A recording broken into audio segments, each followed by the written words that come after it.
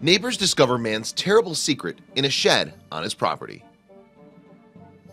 If the movies Rear Window or The Burbs taught us anything It's that you never really know what your neighbors are actually about. They may put on a nice pleasant and perfectly normal face in public But be entirely different in private.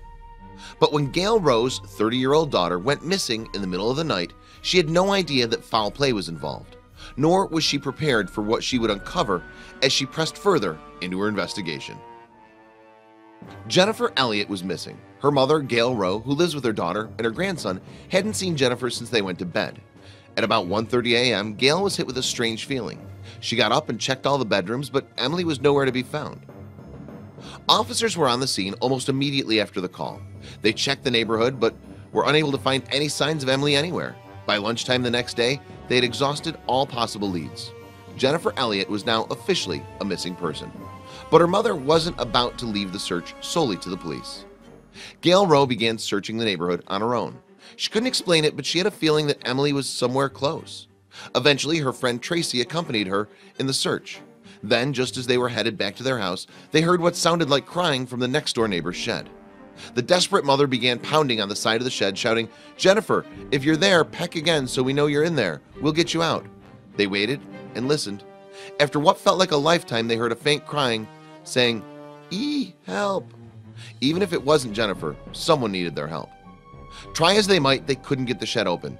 Police soon arrived on the scene and found the shed was bolted shut with a padlock. They broke out the bolt cutters and got to work but to their surprise found no one inside the shed the police began searching all over the inside of the shed. Emily was nowhere to be seen. Next they tore up the floorboards thinking that perhaps he had hidden her under them somehow. After tearing up a few boards they found it a hole dug in the earth and at the bottom of it was Jennifer Elliott. Officers then pulled the 30-year-old Jennifer from the pit though it was only about three and a half feet deep and two feet in diameter. It had been covered with boards and heavy objects. A slight woman like Emily never would have been able to shift those objects on her own Jennifer was completely unable to speak when she was found. She was in shock almost apoplectic. Thankfully there were no obvious signs of any sort of physical injury But whatever he had put her through must have been traumatic. Despite being rescued Jennifer was not out of the woods yet.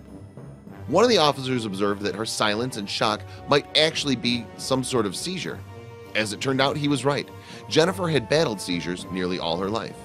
The entire way to the hospital she was in and out of seizures Every time she would wake up from the seizure thing She would try to run and she's screaming no! She was terrified said Gail's friend Tracy. She was immediately hospitalized and made a full recovery. Once she was properly awake She told police who would put her in the pit. Jennifer told them that their neighbor and the shed's owner Dennis Dunn was responsible for taking her. Officers arrested the 45 year old man at about 8 a.m.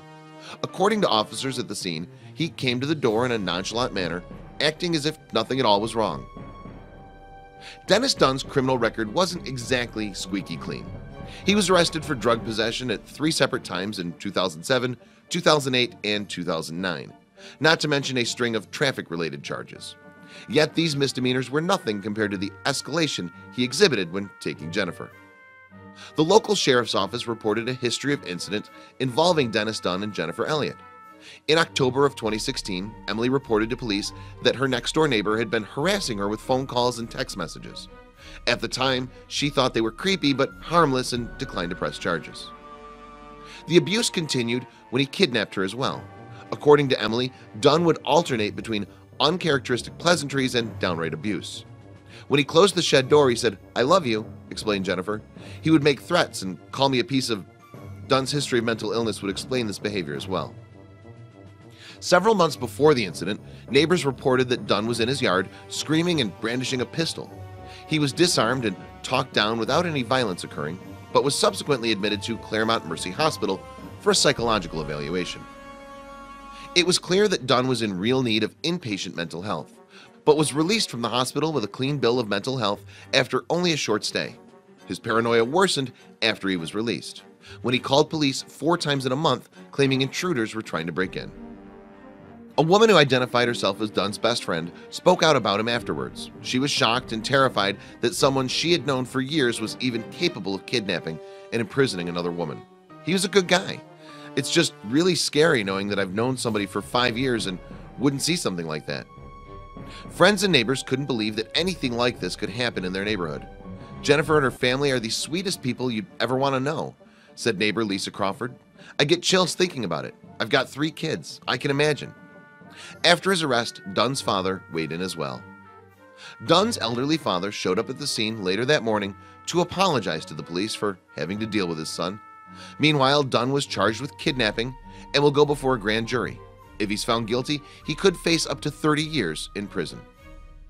I'm just lucky we found her because if we hadn't found her she'd be dead Gail Rowe said of her daughter when it was all said and done her determination to find her daughter not only saved Jennifer's life but her abductor as well.